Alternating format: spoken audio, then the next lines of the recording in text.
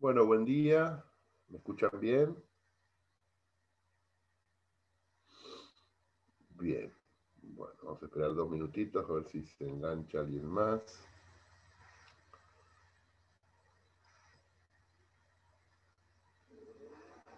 Vamos a...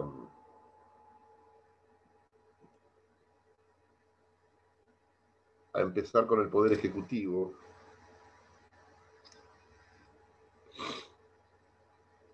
Habíamos visto en la última clase, bueno, los trabajos prácticos vayan haciéndolos, no pierdan tiempo. Lo único que tenemos en la vida es tiempo, todo lo demás son complicaciones que le ponemos nosotros. A ver, Velarde, que no pone la carita. Quedaron pocos y tenemos que vernos. A ver, Federico. Otro que apareció que no pone la cara, Iván. Antes de, entrar en nuestro poder ejecutivo, vamos a hacer una comparación con respecto a los tipos de organización de poderes ejecutivos que existen en otros lugares. El nuestro, ustedes lo saben, es un presidencialismo unipersonal, pero hay otros modelos, no es el único el nuestro. Así que tenemos el presidencialismo por un lado, tenemos el parlamentarismo, que es el modelo más extendido en los países europeos, tenemos los sistemas de poder ejecutivo colegiados. Y tenemos los sistemas semipresidenciales. Con estos cuatro vamos a hacer una breve referencia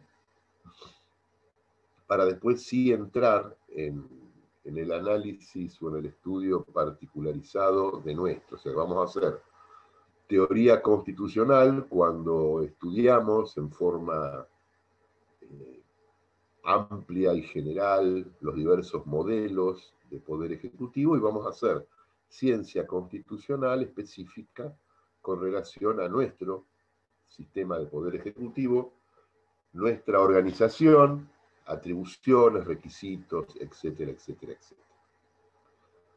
Comenzamos por el Poder Ejecutivo en forma genérica, hay dos sistemas, los puros y los impuros, para ponerle una palabra, o puros y no puros, como, como le quieran poner.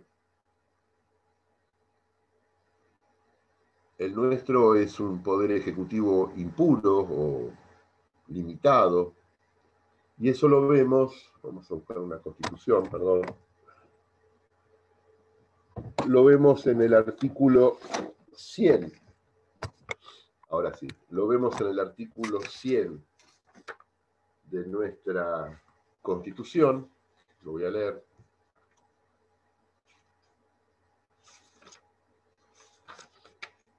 Cuando dice, en el primer párrafo del artículo 100, cuando dice el jefe de gabinete de ministros y los demás ministros secretarios cuyo número y competencia será establecida por una ley especial, tendrán a su cargo el despacho de los negocios de la nación, y esta es la parte importante, y refrendarán y legalizarán los actos del presidente por medio de su firma, coma, sin cuyo requisito carecen de eficacia. Esta última oración sin cuyo requisito carecen de eficacia, nos, nos dice, bueno, el Poder Ejecutivo, el presidente, para que un acto suyo, un decreto que lleve adelante el ejercicio de alguna competencia del presidente tenga eficacia, necesita del refrendo ministerial. Distinto es en los sistemas puros como el de la Constitución de Estados Unidos, donde el presidente de Estados Unidos firma los, ellos denominan decretos ejecutivos, órdenes, ejercicios de competencias propias, y con su propia firma, ese acto jurídico tiene eficacia. Pero en nuestro sistema, según lo establece este artículo de la Constitución, para que un acto del presidente, para que una competencia propia del presidente sea eficaz, o sea, cumpla con los contenidos constitucionales y pueda ser aplicada, necesita al menos el refrendo, o sea, la firma de al menos uno de sus ministros. Por lo tanto, es un sistema limitado. El presidente por sí solo no puede hacer nada. Por sí solo no puede ejercer ninguna competencia propia necesita que un ministro lo acompañe en ese decreto, en ese acto jurídico particular, lo acompañe con el refrendo. Por eso se ha dicho que nuestro sistema es un sistema distinto, esta es una gran diferencia con respecto a la Constitución de los Estados Unidos, una muy gran diferencia, porque nuestro presidente encuentra un límite en el ejercicio de sus tareas al necesitar para que las mismas tengan eficacia el refrendo ministerial. Y esto le da una importancia, esto le da una trascendencia a lo que se llama el ministerio, que después lo vamos a ver en forma particular, que no tienen, por ejemplo, la Constitución de Estados Unidos. Si bien ellos tienen unos funcionarios muy similares a los cuales denominan secretario de Estado, serían sinónimo, el secretario de Estado sería un sinónimo al ministro, a cualquier ministro argentino. El secretario de Estado lleva adelante una tarea específica, pero el presidente ejerce todas sus competencias solo. En cambio, en nuestra constitución, el presidente ejerce todas sus competencias y para que sean eficaces con el refrendo ministerial. Esto ha llevado que algunos autores en la Argentina sugieran que estamos frente a un poder ejecutivo colegiado y no a un poder ejecutivo unipersonal. Porque desde el punto de vista formal, el artículo 87 de la Constitución, y estén siempre con la Constitución a la mano, el artículo 87 dice, el poder ejecutivo de la nación será desempeñado por un ciudadano con el título de presidente de la nación argentina. Es muy claro el artículo 87 cuando dice que el poder ejecutivo es unipersonal. Pero el artículo 100, primer párrafo, nos dice que esa unipersonalidad se ejerce con el acompañamiento o el refrendo de un ministro. Por lo tanto, yo no tengo dudas, la mayoría, la inmensa mayoría de la doctrina no tiene dudas de que nuestro poder ejecutivo es unipersonal, pero ha habido algunos profesores de la jerarquía de Nicolás Matienzo, o de Juan Vicente Sola, quien fuera en su momento, hace muchos años, titular de esta cátedra, o del propio presidente en su momento, Carlos Pellegrini, que dijeran que de alguna manera tenemos un poder ejecutivo colegiado, porque solo el presidente no puede hacer nada. Fíjense que no puede ni siquiera renunciar, porque la renuncia tiene que ser aprobada por el Congreso. No puede delegar el mando porque requiere de un decreto para que lo acompañe un ministro con su firma. No puede designar a nadie, a un empleado, a un funcionario, a un juez. Solo no puede hacer nada. Y esto es parte de la genialidad de Alberdi, desde mi punto de vista, esto es parte de la genialidad de Alberdi, cuando Alberdi diseña nuestra constitución, que si bien en 1853 se aprobó y no fue textual el proyecto de Alberdi, que se le, se le hicieron muchas modificaciones, Alberdi diagramó un poder ejecutivo con muchas limitaciones. Fíjense, un poder ejecutivo que no podía ser reelecto, o sea, un presidente que no podía ser reelecto, un presidente que necesitaba de una mayoría muy amplia del Congreso para reformar la Constitución, un presidente que necesitaba del refrendo ministerial para ejercer sus competencias propias, un artículo 29 que le impedía que el Congreso le otorgara facultades extraordinarias bajo la amenaza de la, de la tipificación del delito de traición a la patria. O sea, un presidente controlado, esa era la idea de Alberti, un presidente controlado, porque claro, él venía de su exilio y él venía de ver cómo funcionaban otros modelos, otros sistemas, y veía también cómo había funcionado en la Argentina los últimos 30 años del gobierno de Rosa, por lo tanto a esta salida constitucional de 1853 se la quiso rodear de una serie de garantías, de controles entre los poderes. Por eso nuestro poder ejecutivo tiene estas limitaciones cuando lo comparamos con el poder ejecutivo, la organización presidencialista de la Constitución de los Estados Unidos. Entonces, dentro del poder ejecutivo tenemos estos puros y atenuados. El nuestro es un poder ejecutivo atenuado. El de la Constitución de Estados Unidos es un poder ejecutivo puro. Y esto tiene que ver en cuanto a la libertad o no, controles o no, en el ejercicio de las competencias propias. Primer modelo, presidencialismos en el poder ejecutivo, en donde el presidente en nuestro sistema y en el sistema de todos los presidencialismos, el presidente reúne en sí mismo el ejercicio de todas las atribuciones presidenciales, de aquellas que tienen que ver con la administración, de aquellas que tienen que ver con la representación en el exterior, de aquellas que tienen que ver con la organización y conducción de las Fuerzas Armadas, es lo que en definitiva se llama en nuestro sistema el ejercicio de las jefaturas presidenciales.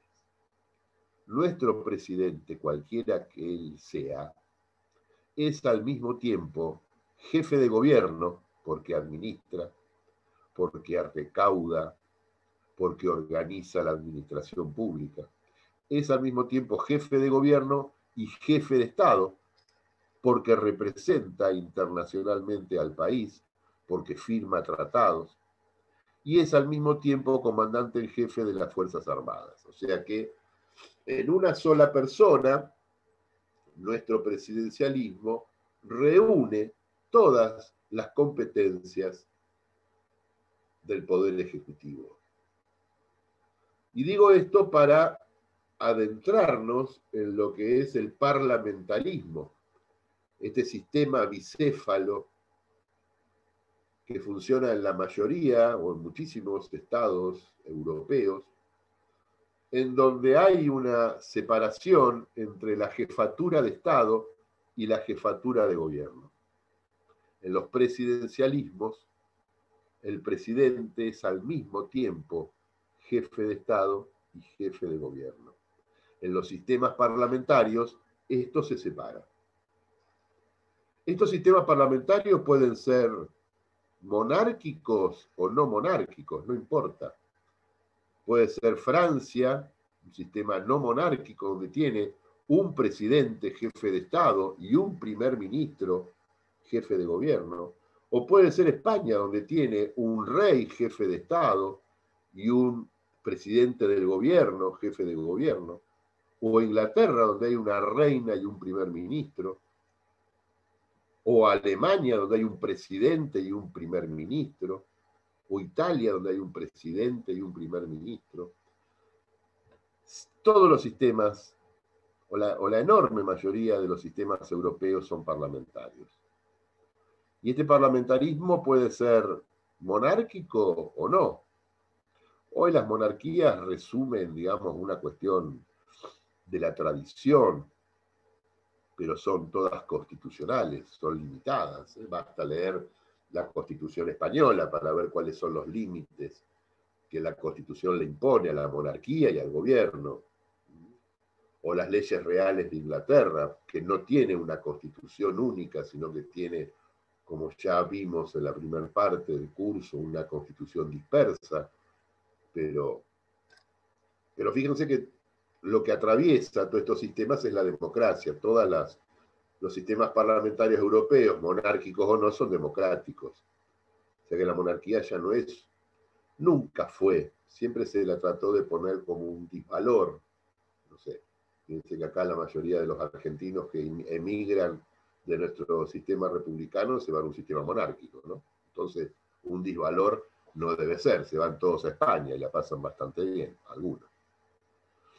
Entonces, en los sistemas parlamentarios está esta, esta separación. El jefe de Estado, que es el que ejerce las funciones de representación ante el exterior, que es el que firma los tratados, es el que representa al Estado en sede internacional, y el jefe de gobierno con las distintas denominaciones, porque en España al jefe de gobierno se le dice presidente del gobierno, en Inglaterra se le dice primer ministro, en otros lugares se le dice premier, pero bueno, no importa, el nombre que tenga es el, jefe de la administración pública, es el que tiene la responsabilidad política de llevar adelante el gobierno. Cuando, para poner un ejemplo, un presidente argentino viaja a Europa y llega a un país su par, el que lo recibe o el primer contacto, es el jefe de Estado. Cuando el presidente argentino va a España, con el primero que se comunica, o el que lo va a esperar al aeropuerto, o lo recibe, es con el rey, porque es de jefe de Estado a jefe de Estado. Después las conversaciones podrán ser con los presidentes de gobierno, con los primeros ministros, cuando va a Francia, ahora que fue el presidente argentino hace una semana, fue de gira a Europa, cuando va a Francia lo recibe el presidente francés. Después podrá hablar con el primer ministro. Y en ese mismo viaje fue a Portugal, donde se reúne con el jefe de Estado, después con el primer ministro. O sea que tenemos que tener bien esta diferenciación porque según los personajes con los cuales hablamos, a veces son más conocidos los presidentes y a veces son más conocidos los primeros ministros. O a veces hay presidentes que se convierten en primer ministros. Cuando estaba Angela Merkel en su esplendor, nadie conocía el nombre del presidente alemán, porque la figura de la primer ministro era la, la más conocida, cuando estaba Berlusconi como primer ministro en Italia, nadie conocía al presidente de Italia, un señor de apellido napolitano que fue como tres veces reelecto presidente, más de 15 años, pero la gente conocía al primer ministro, que por ahí duraba dos años. Porque el primer ministro es el que surge del proceso eleccionario y es el propuesto por el órgano legislativo. No hay elecciones para primer ministro, hay elecciones de representantes al órgano legislativo y el que tenga mayoría en ese órgano legislativo es el que le propone al gobierno, sea el rey o sea el presidente, la designación de una persona como primer ministro. Hay que ganar las elecciones legislativas para tener la mayoría en el órgano legislativo, para que dicho órgano legislativo le proponga al Poder Ejecutivo, al jefe de Estado, el armado de un gobierno. ¿Quién arma el gobierno en los sistemas parlamentarios? Los que tienen mayoría en el ámbito legislativo. Hay un libro muy interesante de Maurice Duverger que se llama Un águila de dos cabezas. Es un libro muy viejo de, ciencia política. Maurice Duverger fue un politólogo francés y él hablaba de un águila de dos cabezas cuando él se imaginaba al Estado francés con dos cabezas, el, jefe de Estado y el jefe de gobierno, pero era, era la misma águila, o sea, el mismo Estado, que podía llevar adelante las funciones del Estado con dos figuras fuertes.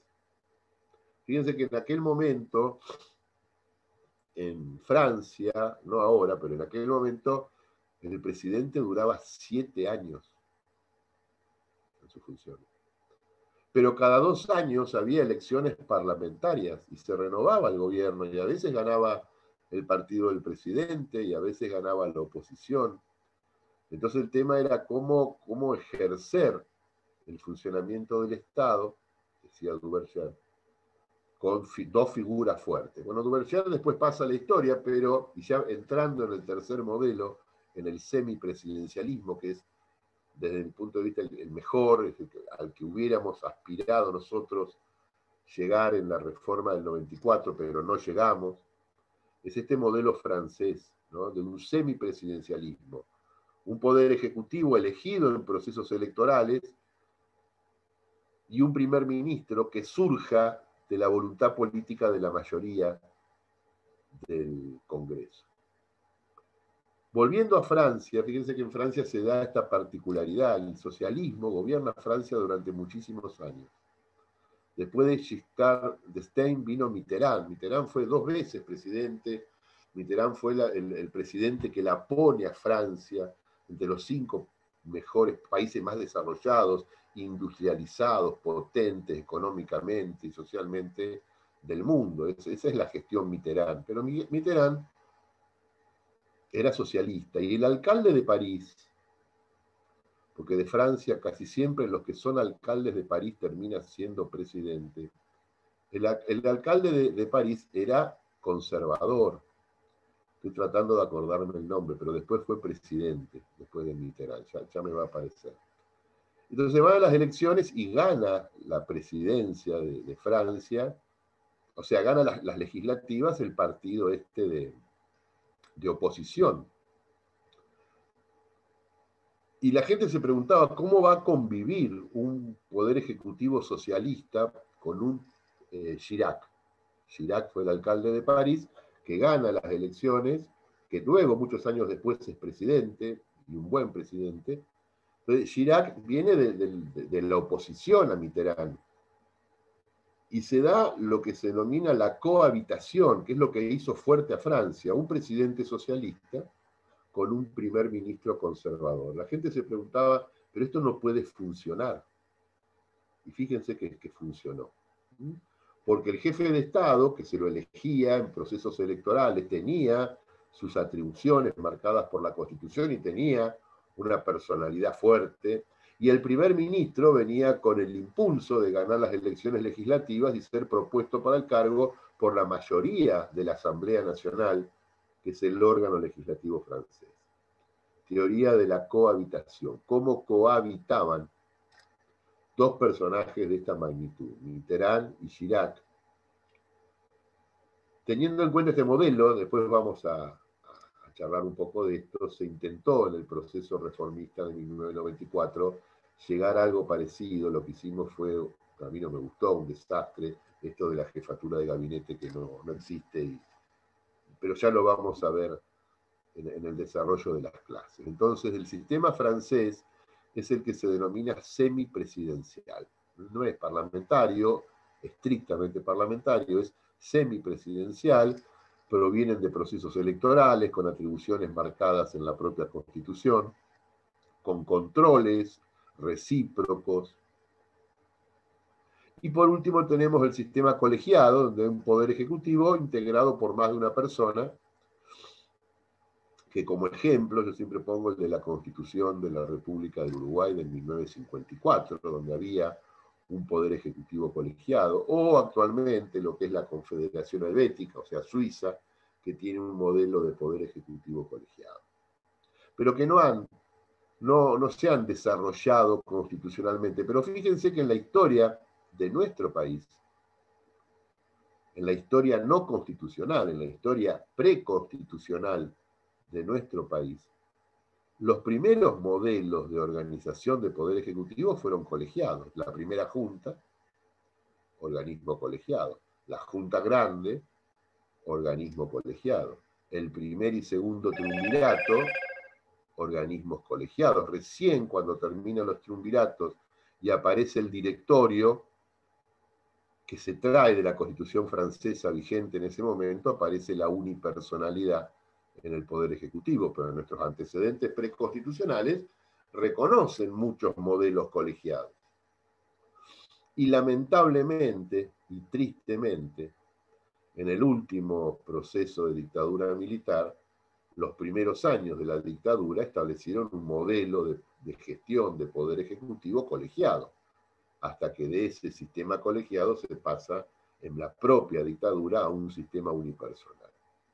Entonces los sistemas colegiados no, trascienden, no quiere decir que en el futuro no vuelvan a tener algún tipo de preponderancia, pero hoy los modelos son unipersonales y los tenemos en estos tres que yo marqué, el presidencialismo puro o atenuado, el parlamentarismo y el sistema semipresidencial que encuentra a la Constitución francesa como su mejor expositor.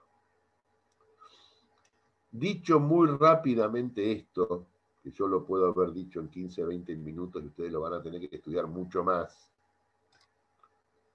porque me encontré aparte en el examen que estudian de las clases, si, si vuelven a ver estas clases, cuando yo a muchos les he preguntado, pero ¿de dónde estudió? Y de sus clases, yo les dije desde el primer día, no alcanza esto, no alcanza. Esto puede ser una guía para que ustedes recorran después un libro, pero esto no alcanza, y menos con este sistema tan despersonalizado que es el que llevamos adelante. No alcanza.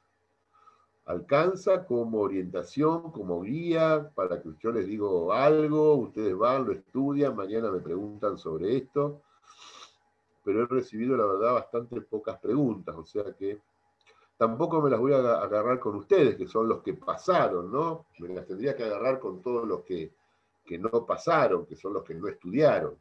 O estudiaron mal, o estudiaron poco, o estudiaron equivocados. Pero esta carrera solamente se aprende, no solamente escuchando al profesor, teniendo sus dudas, preguntándole, sino estudiando, como decía un un amigo mío hace muchos años, horas culo, que son horas sentadas en, un, en una silla y estudiando. ¿Cuántas horas culo le pones? Vas, van a ver los resultados. No hay otra, no hay magia. Acá en esto no, no hay nada que no sea sentarse y estudiar, leer, leer, leer, leer, y cuando uno termina de leer, seguir leyendo, leyendo, leyendo, y cuando termina, seguir leyendo. No hay otra. Todos los que les digan otra cosa, les están mintiendo. Volvemos al, al Poder Ejecutivo y entramos a ver el nuestro. Entonces entramos a ver este Poder Ejecutivo presidencialista atenuado, que yo les decía del artículo 100, ¿no? un presidencialismo atenuado, porque requiere del refrendo ministerial para ejecutar los actos propios de la competencia. Pero vamos a hacer un estudio escolástico, ¿no? Como hacían los, los viejos escolásticos, vamos a ir leyendo el, capítulo. Yo les digo, bueno, en algunos artículos nos vamos a detener, otros los vamos a pasar para más adelante. Pero bueno, comienza nuestra constitución con el artículo 87, primer artículo que se refiere a nuestro presidente, que aparte está bueno porque ustedes lo ven todos los días por televisión y ven el sistema argentino que es bastante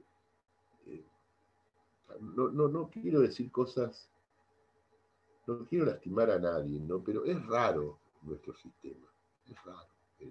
En la práctica, la constitución es muy simple, es muy claro. Lo que pasa es que no, no estamos viendo un presidente que se maneje mucho en el marco constitucional. Pero no importa, esa es una opinión mía, no tienen por qué estar de acuerdo, es más, me pueden interrumpir y podemos discutir. Artículo 87. El Poder Ejecutivo de la Nación, ya lo habíamos leído hace un rato, será desempeñado por un ciudadano con el título de presidente de la Nación, o sea que acá habla de la unipersonalidad. De esto no hay duda. Yo recién les había dicho, bueno, para el 99,9% de la doctrina es unipersonal. Tenemos algunos como, como Benjamín Matienzo, que no, no, cosa menor, o como algunos otros, inclusive Carlos Pellegrini. Carlos Pellegrini, cuando fue presidente, él desde el punto de vista práctico, que para mí fue un gran presidente, uno de los tres mejores, si yo tuviera que hacer un top tres de los presidentes argentinos, Carlos Pellegrini estaría en esos tres. Sería bueno que ustedes traten de hacerse un... Pero desde el primero, ¿no? Desde Urquiza para acá, eh, yo Pellegrini lo pondría ahí. Pero bueno, una debilidad mía, por ahí otros ponen a otro, no, no hay problema. Y él decía, nuestro poder, pero en, términos políticos, él decía que la Argentina tenía un poder ejecutivo colegiado porque había cinco presidentes y un secretario. En ese momento él tenía cinco ministros. Y él le daba, pero los ministros de Pellegrini eran personajes, no como los ministros de los últimos tiempos, ¿no? que no los conoce nadie y a veces es mejor no conocerlos porque cuando uno los conoce se asusta. Entonces, en aquel momento él tenía grandes figuras de, ministros y él se, autonombraba políticamente como el secretario, que era como el que coordinaba las tareas de sus ministros. Pero era una expresión política. Pero Benjamín Matienzo hablaba. Y Juan Vicente Sola, que, que fue en algún momento, recién se los dije, titular de esta cátedra, Juan Vicente ahora está en Buenos Aires, eh, y él en algún momento dejó traslucir que podríamos, frente a esta debilidad del presidente de someterse al referendo ministerial, que después vamos a ver, porque algunos me dicen, bueno, pero entonces el presidente como elige a los ministros, les dice, si vos no me firmás esto, no es tan así. No es tan así. ¿O sí? Cuando Kirchner, cuando Néstor Kirchner era presidente, le renunció un ministro por no firmar el decreto. Búsquenlo y me lo dicen mañana. ¿Qué ministro del Poder Ejecutivo de la presidencia de Kirchner renunció a su puesto de ministro por no querer acompañar al presidente en la firma de un decreto que era el que aprobaba una licitación? Y después fíjense ese ministro que renunció, ¿qué está haciendo ahora? para tratar de entender un poco la historia argentina. Pero se los dejo para que lo busquen mañana, no lo, no lo googleen ahora. Bueno, vamos al 88. El 88 es el artículo que habla de la cefalía. Ese es un tema que lo vamos a ver al final.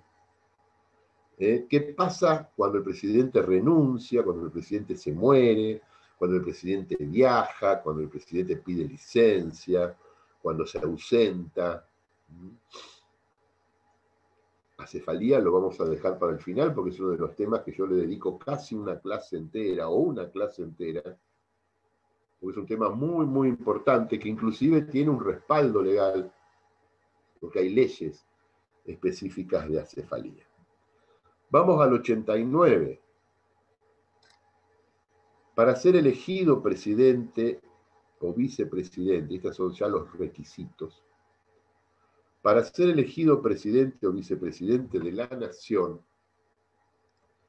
se requiere haber nacido en el territorio argentino, coma, o ser hijo de ciudadano nativo habiendo nacido en país extranjero. La regla y la excepción. Punto y coma. Y ahí nos separa la oración y dice, y las demás calidades exigidas para ser elegido senador. Esto es lo que en técnica legislativa, esta última oración, en técnica legislativa significa un reenvío. La Constitución nos está reenviando al capítulo del Poder Ejecutivo, del Poder Legislativo, donde están los requisitos para ser senador. Pero vamos a quedarnos con esto ahora, en la primera parte, para ser elegido presidente se requiere, la regla es haber nacido en territorio argentino. Ya en otras clases vimos cuál es el territorio argentino. Es el territorio continental, es el mar territorial. Y como, como alguna excepción, ya la gente no nace más en barcos, pero si nacía en un barco de bandera argentina, que esté en alta mar, o si nacía, supongamos, en Europa, y era el hijo del embajador, por una cuestión de conexidad, en aquel momento se le daba la nacionalidad argentina.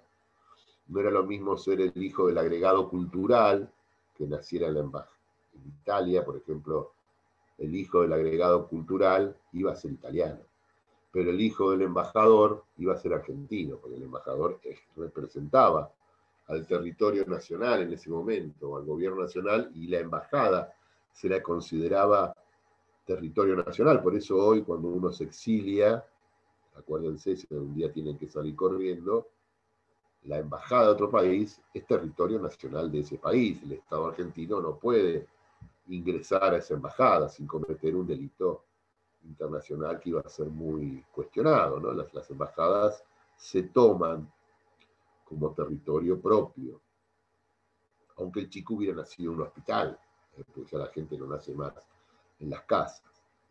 Pero bueno, entonces la regla para ser presidente es ser argentino. La excepción es ser extranjero, porque yo puedo hacerles esas preguntas en el examen, ¿puede un extranjero ser presidente? ¿Puede un japonés ser presidente de la Argentina?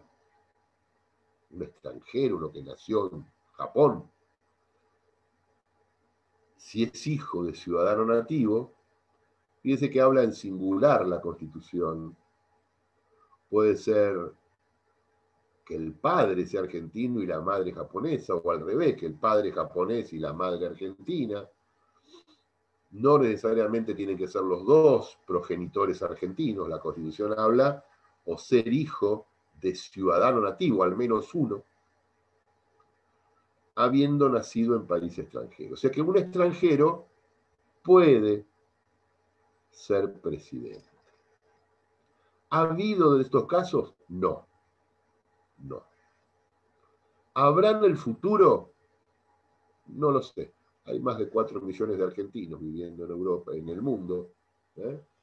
Solamente en la costa oeste de Estados Unidos hay más de un millón.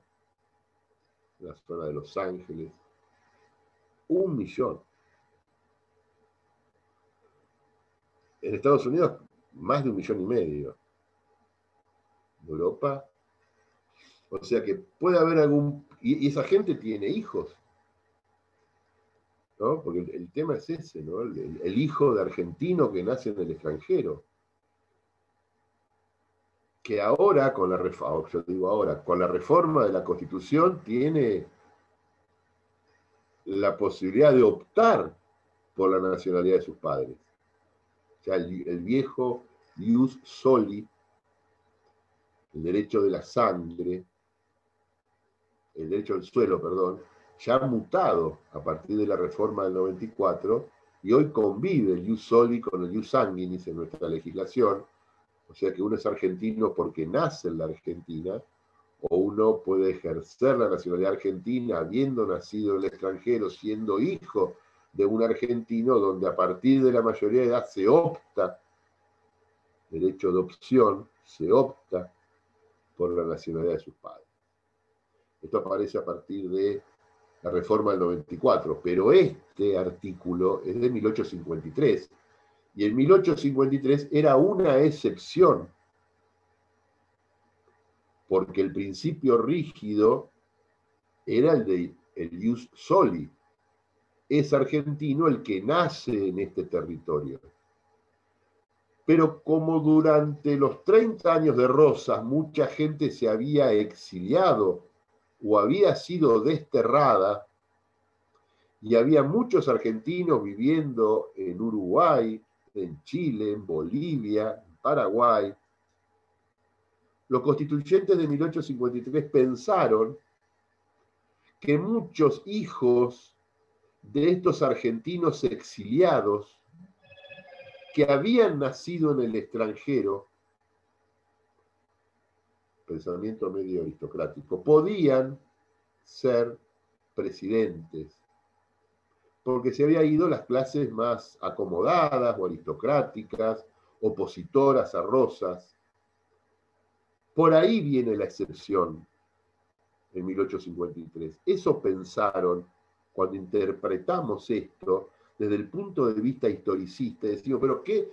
Ubiquémonos en el lugar del constituyente de 1853. ¿Por qué puso esta excepción de que el extranjero, el hijo de un ciudadano nativo puede ser presidente? Bueno, porque en los últimos 30 años, cientos de argentinos se fueron del país por propia voluntad o desterrados por, por, órdenes del gobierno de Rosas, y tuvieron familia e hijos en el extranjero, cientos extranjeros, hijos de argentinos desterrados, que al terminar el gobierno de Rosas, al ser derrotado Rosas en Caseros, y aparecer la constitución y los gobiernos constitucionales, podían tener la posibilidad de volver y ser presidentes, si es que alguien los votaba. Ese es el origen. Fíjense que esto, pensado para 1853, se repitió durante muchos procesos en la Argentina. Hubo muchas migraciones en la Argentina por causas políticas, después de cada golpe de Estado, pero de los más graves, del 76, miles de argentinos se fueron. procesos de, de derrumbe económico, 88, 89, miles de argentinos se fueron. En el 2001, miles de argentinos se fueron. En el 2008, miles de argentinos se fueron. Y ahora también se están yendo. ¿Quién no tiene un conocido, un pariente que se haya ido? Tristemente. Yo no lo comparto. Pero se van y tienen todo el derecho. Y tienen su familia en el exterior y está pensado para ellos también, porque algún hijo de este argentino que se va puede venir y ser presidente, si es que alguien lo vota. La pregunta que se hacen los autores, fíjense que me detengo mucho, porque ahora vamos a parar cinco minutitos, como siempre a las nueve menos cuarto. Este extranjero tiene que nacionalizarse, tiene que obtener la ciudadanía argentina? ¿Sí o no? Lo dejamos acá y volvemos en cinco minutos.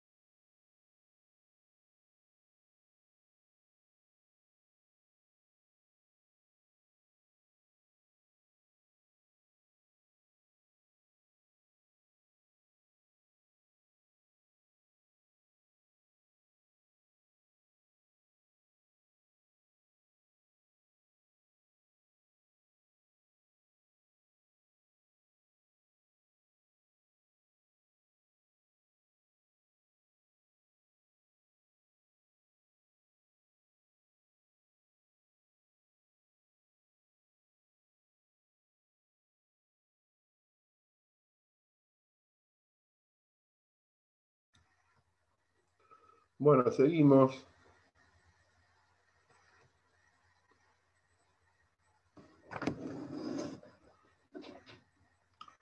Seguimos, vuelvan.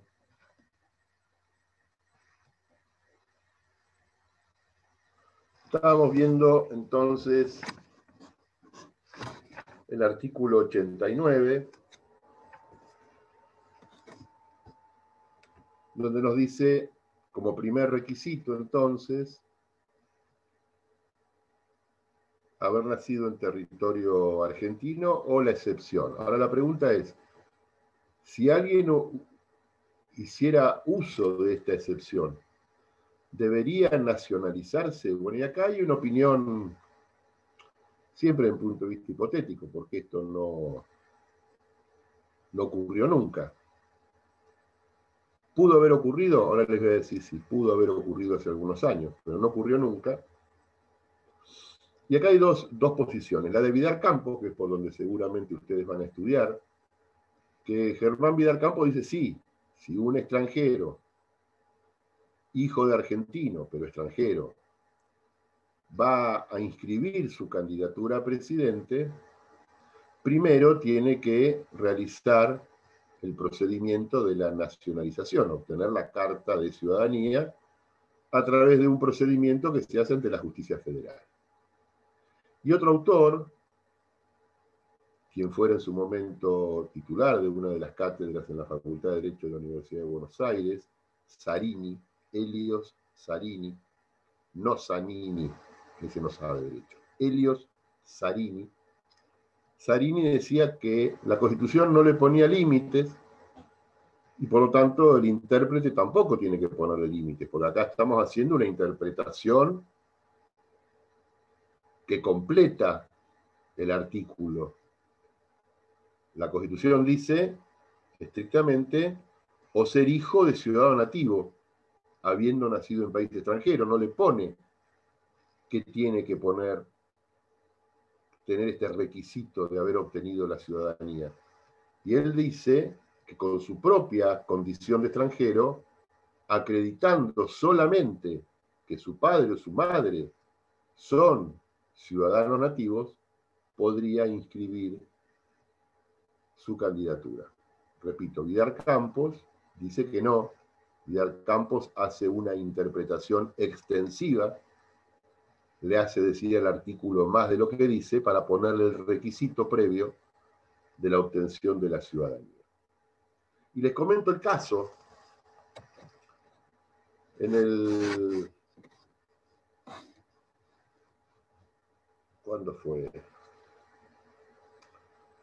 hará 10 años más o menos, cuando, cuando trasciende este diputado nacional por la provincia de Buenos Aires, de Narváez, que es un empresario, ahora creo que compró Carrefour, pero en su momento era el dueño de, de Casa Tía, ¿no? Casa Tía era una empresa que era tiendas israelitas argentinas, ¿no? Casa Tía era una empresa muy potente de Narváez, que ahora no sé si es bueno, fue diputado hasta hace algunos pocos años, pero de Narváez gana una elección legislativa, le gana a Kirchner, le gana al kirchnerismo muy bien.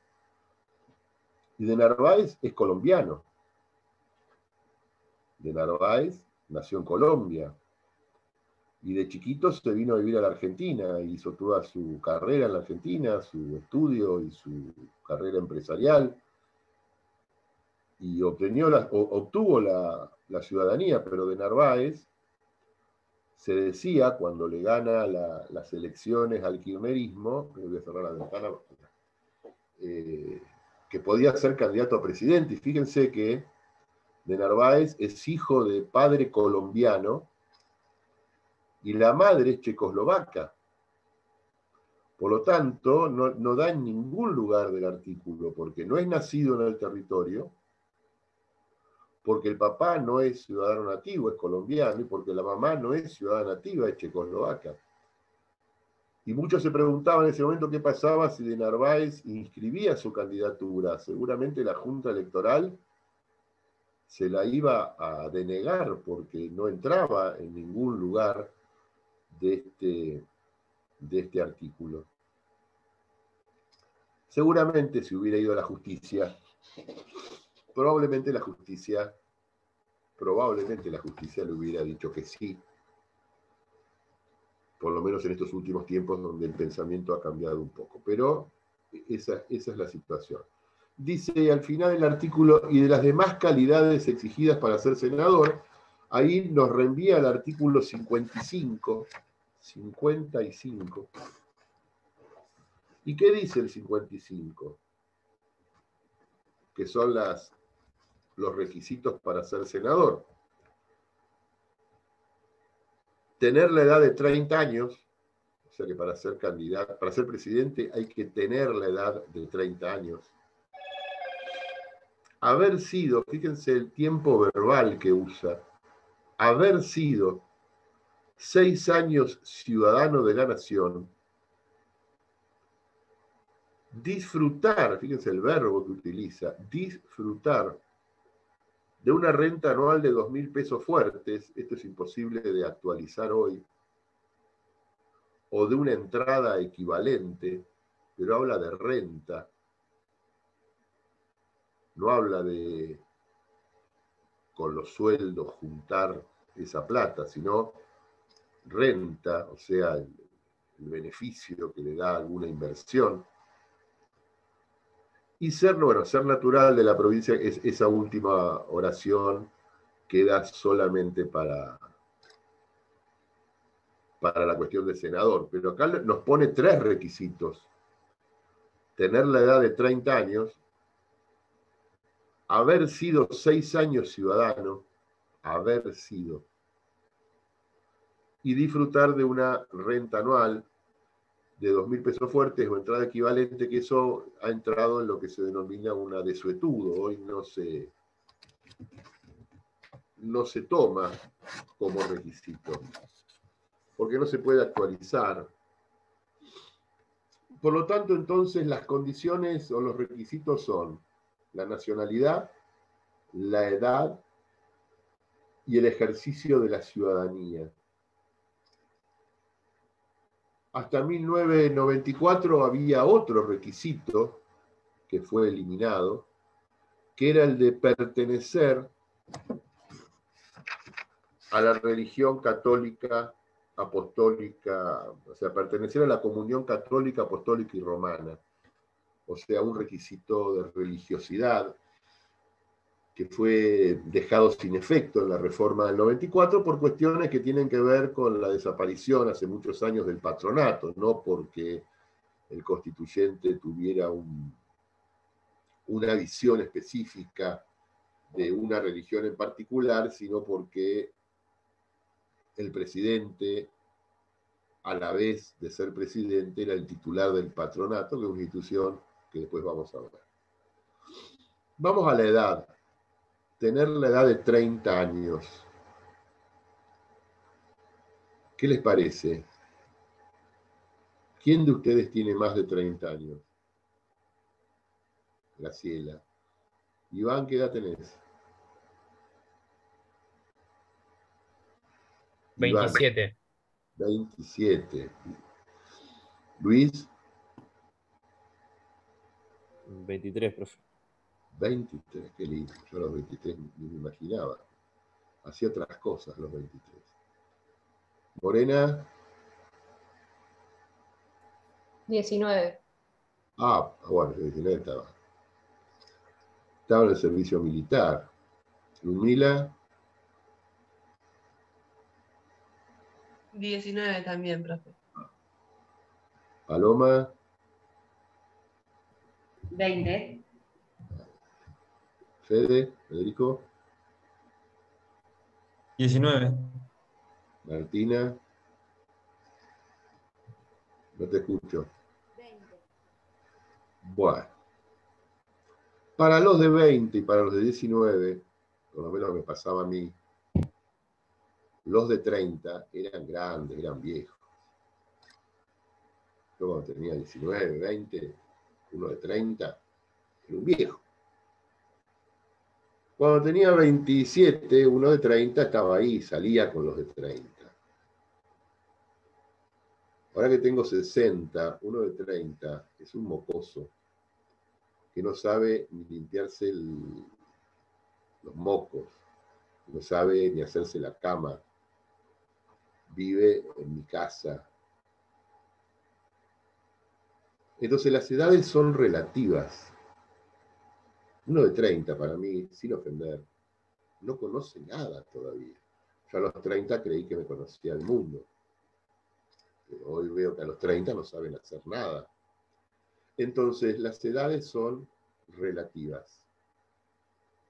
Pero fíjense que cuando se sanciona la Constitución en 1853, la expectativa de vida en aquel momento no superaba los 45 años. La gente no vivía en términos generales más de 40. Por supuesto, las clases más acomodadas, que se alimentaban mejor, que tenían acceso a la precaria medicina, por supuesto que vivían 70, 80 años como ahora.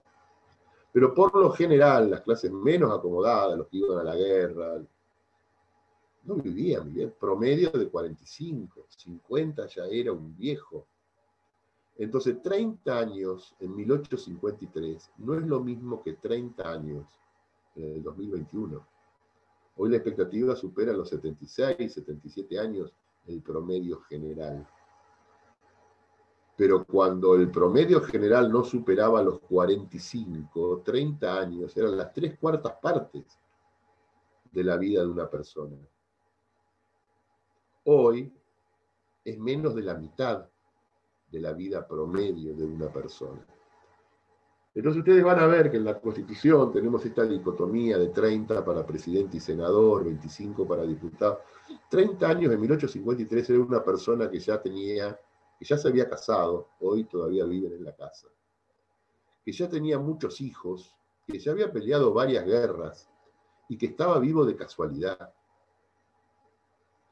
porque había atravesado varias enfermedades o le habían pegado cerca varias enfermedades. Fíjense que las familias de aquel momento tenían muchísimo más hijos. Hoy, hoy un matrimonio que tenga tres hijos es multitudinario. En aquella época se tenían seis, siete, ocho. ¿Por qué? Porque más de la mitad se moría en la infancia. ¿Por qué tenían tantos hijos? Para que llegara alguno a la vida adulta. Porque no llegaban. ¿Eh? Era, y por eso se les ponían segundo, quinto. fíjense los nombres, ¿no? Y, el primero, el, aparte del Código Civil, ni siquiera en 1853, cuando Vélez hace el Código Civil, todavía sigue pensando en el mayorazgo, después se modifica. ¿Qué era el mayorazgo? Era en el proceso sucesorio que el único heredero era el hijo mayor. Los demás no heredaban. Era la, la teoría del mayorazgo. Heredaba el mayor, el primogénito.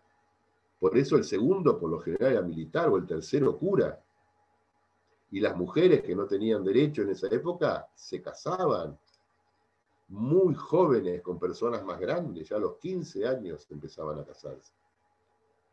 Y, el, heredaba el mayor. Y el segundo, el segundón, el tercerón, el cuarterón, y era el que, el que el expedicionario, el cura, el militar, porque no tenían, a no ser que lo mataran, mataran al hermano mayor que era bastante difícil también. Era otra sociedad. Por eso también las cuestiones de edad eran otras. Hoy no van a ver ustedes un presidente de 30 años. No lo van a ver. Ojalá, ¿no? Los presidentes son mayores de 50, de 55. Fíjense que para integrar el Consejo de Gobierno de la República Popular China, que estamos encandilados con los chinos ahora, para integrar el Consejo Supremo, no el Poder Ejecutivo, el Consejo Supremo, el que toma las grandes decisiones, hay que tener más de 80 años. ¿Qué hacemos en la Argentina con los que tienen más de 80? Los ponemos en el geriátrico. ¿Qué hacen en China? Los ponen a tomar decisiones. Esa es una gran diferencia. Pero bueno, tener más de 30 años, hecha esta referencia que las edades son relativas, lo dejo ahí. Después dice, haber sido seis años ciudadano de la nación. ¿Por qué haber sido? Esto siempre hizo ruido. Este artículo que viene de 1853 también estaba pensando que los presidentes venían del exilio. Estaban pensando que los presidentes venían del exilio. ¿Qué pasaba cuando la justicia en aquel momento desterraba a alguien, sentencia condenatoria, pérdida de la ciudadanía? O cuando sentenciaba y lo metía preso, pérdida de la ciudadanía había muchos presos políticos, se había muchos desterrados, se había mucho exiliado. Entonces el constituyente dice, bueno, en esta nueva etapa que se crea a partir de 1853, para ser presidente no es necesario acreditar un ejercicio continuo, porque puede ser que los últimos cuatro años el tipo estuvo preso sino acreditar que en algún momento tuvo seis años de ciudadanía. Pongámoslos en términos actuales. Hoy adquirimos la ciudadanía a los 18 años y la ejercemos por ahí toda la vida sin problemas. Pero por ahí tenemos una sentencia condenatoria. ¿Y qué, cuál es un efecto de la sentencia condenatoria? La pérdida de la ciudadanía y terminamos el cumplimiento de la pena y el otro año queremos ser presidentes. Entonces, si tuviéramos que acreditar seis años anteriores, mucha gente no lo podría hacer. Y aquel constituyente tuvo una cuestión muy amplia, cuestionable hoy, cuestionable hoy, pero quizás no cuestionable en aquel momento, que era acreditar seis años. Entonces yo me hice ciudadano a los 18, a los 24, a los 24 ya tengo seis años de ciudadanía. A los 24 tengo seis. A los 25 me robo un banco, me dan 10 años de cárcel. Salgo a los 35. A los 36 hay elecciones presidenciales. Me anoto y me eligen presidente. Entonces yo tuve un año anterior de ejercicio, pero acredito entre los 18 y los 24, seis años continuos.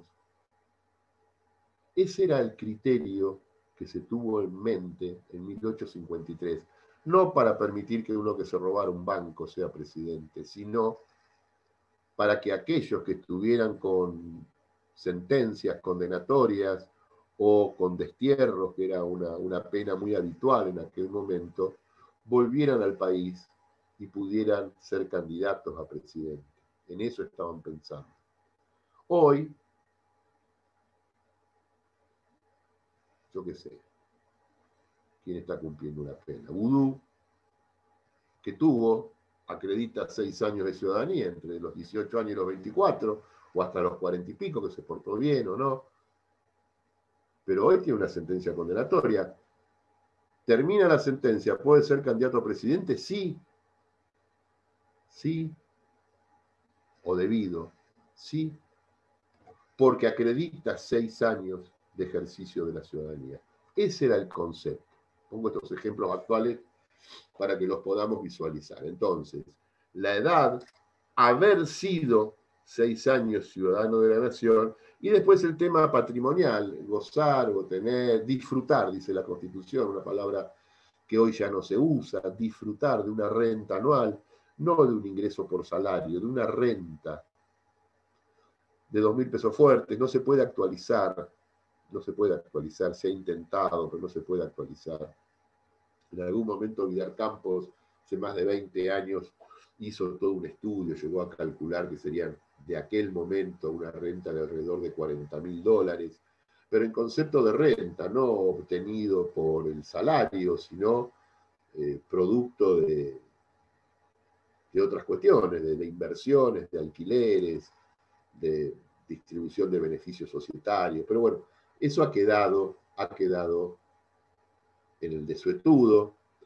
Y en 1994, en la reforma, se quitó este tema de pertenecer a la comunión católica apostólica romana eh, por el simple hecho de que ya no existe la institución del patronato en la República. ¿Cuáles son los requisitos hoy entonces para ser presidente? 30 años de edad, haber sido seis años ciudadano de la nación, ser nacido en el territorio argentino o hijo, con esta excepción, o hijo de ciudadano nativo habiendo nacido en el extranjero, con esta discusión que queda si hay que obtener la carta de ciudadanía a través de un proceso judicial o con el simple, la simple situación de extranjero acreditando la ciudadanía.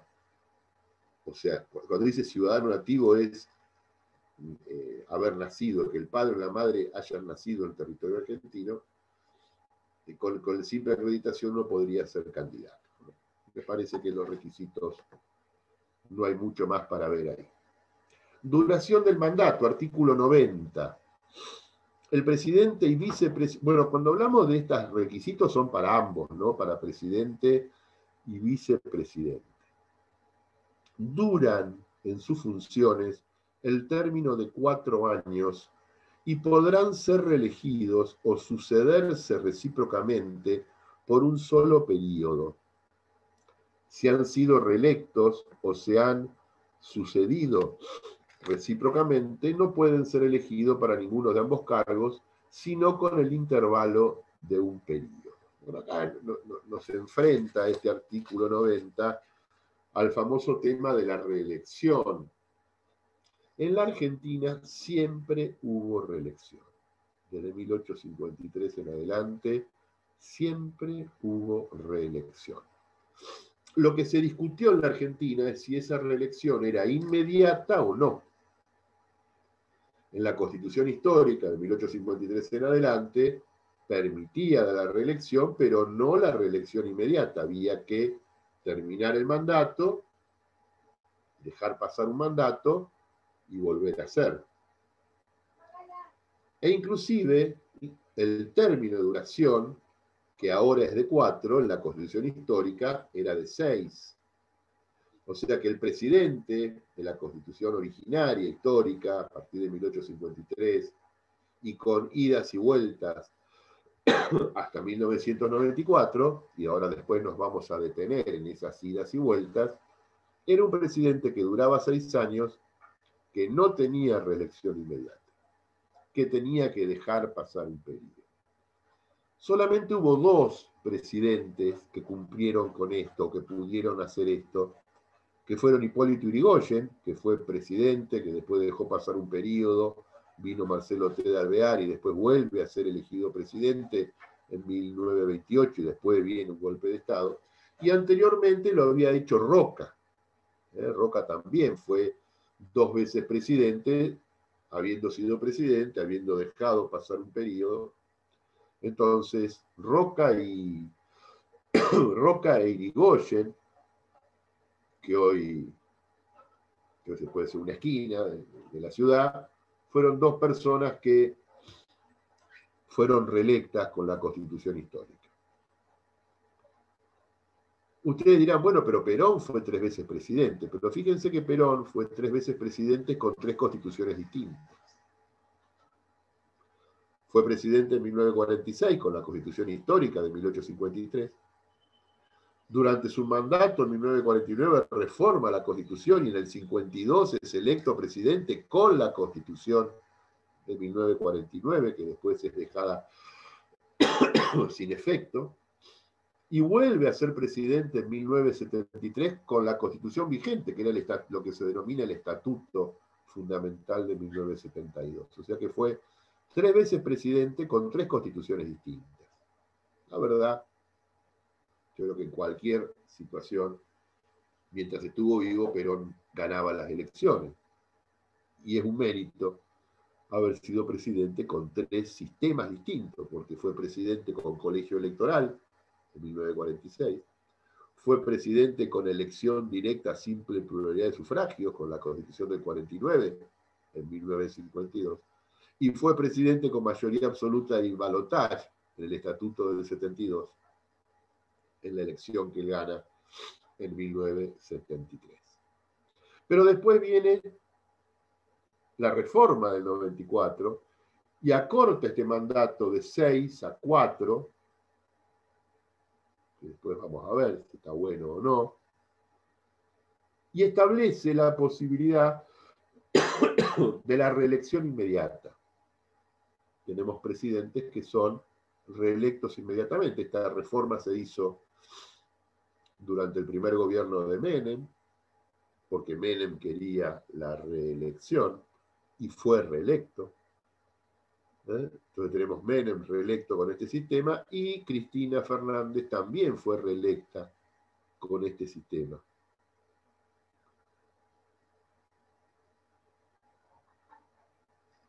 Cuatro años, reelección inmediata, contra la Constitución Histórica, que era seis años, y reelección con un periodo intermedio. Esos son los dos modelos que funcionaron en la Argentina. Yo creo que este que está ahora va a estar casi eternamente, no hay condiciones políticas para cambiarlo. Tengo mis dudas si es el mejor sistema, pero es el que tenemos. Entonces, ¿qué opino de la reelección? Si la gente vota, no hay con qué dar, no, es un tema para, para cuestionarlo demasiado. Pero no todos ustedes están viendo los países de la región. Fíjese que Chile no tiene reelección y hay alternancia. ¿Quién tiene Chile? Quién le tocó Chile? No vino.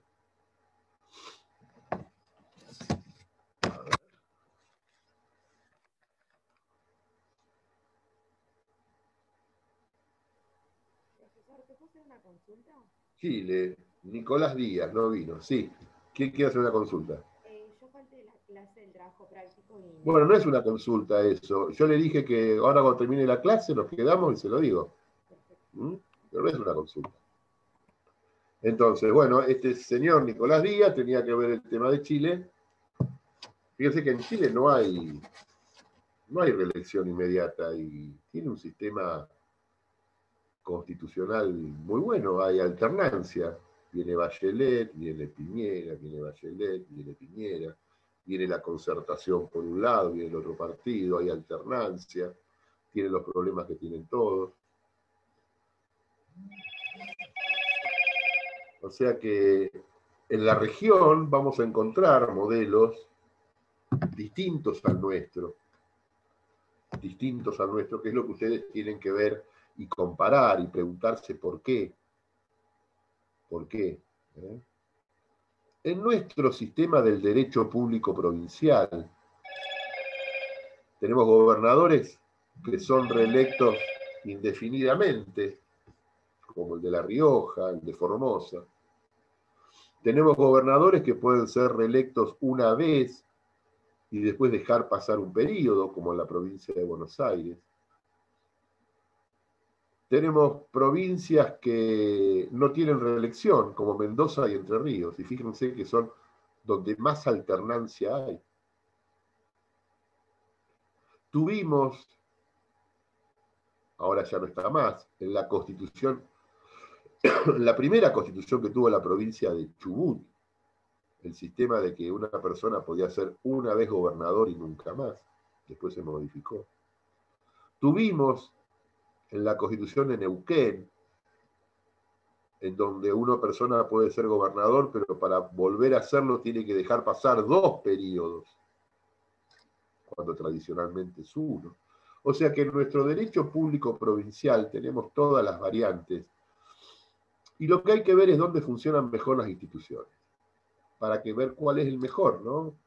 Tenemos reelección indefinida, reelección inmediata por un periodo y uno de descanso, no reelección.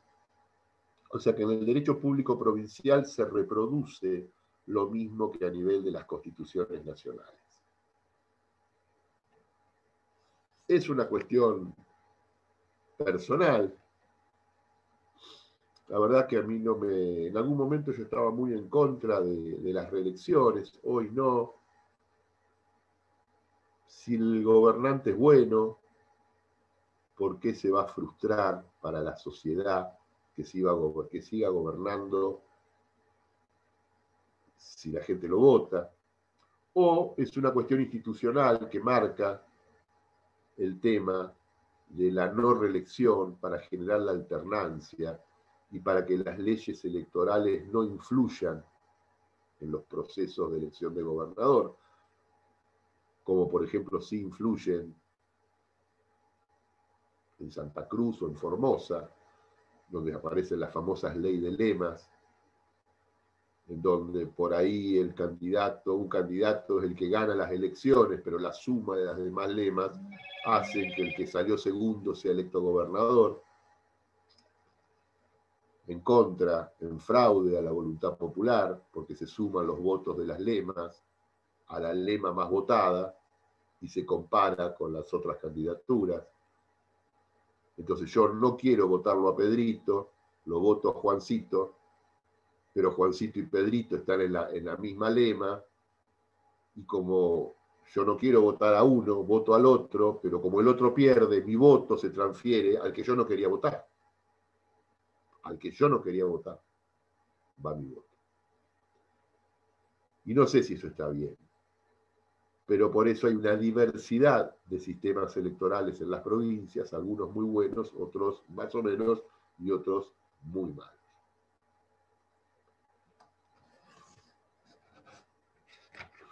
la reelección, en definitiva, es una cuestión de opinión personal. A eso quería, a eso quería referirme. Bueno, quedan cuatro minutos, no, no quiero empezar con el otro artículo, que sí tenemos que detenernos. Tenemos que detenernos un rato. Así que bueno, Martina, usted, a usted no le había dado, no le había dado el trabajo, ¿por qué no? Porque no vino, no por otra cosa. No, no, Martina Casal.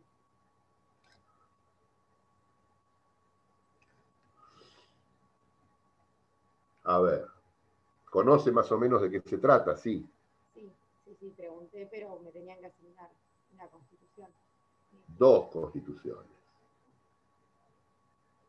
A ver, tenemos de la región, tenemos a Chile, a Perú, a Bolivia, Paraguay. De, de la región Colombia, que es un lindo problema, fíjense que están a los tiros Colombia.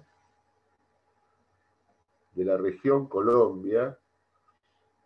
Y del resto del mundo tenemos a Portugal, España, Francia, Italia, Alemania, Suiza.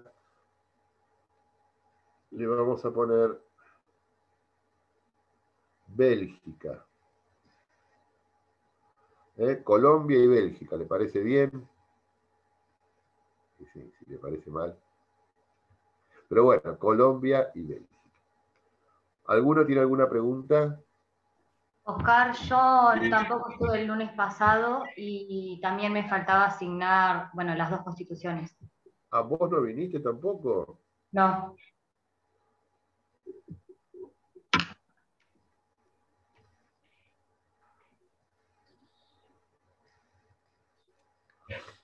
Bueno.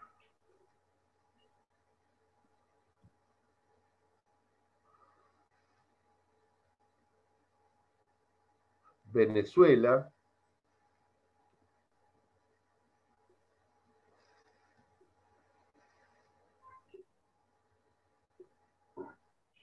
Si quieren un día les cuento. A mí me invitaban a dar clase a Venezuela. No sé si les conté. Lo mal que la pasé. Me tuve que tomar un taxi para hacer 150 metros. Para ir de un hotel a otro, me tuve que tomar un taxi. Porque el encargado del hotel me dice, no, el venezolano, ¿no? le recomiendo que... Tenía que caminar de un hotel por un parque 150 metros para ir a cenar a otro hotel. Y me tuve que tomar un taxi que me dio toda una vuelta de 6, 7 cuadras.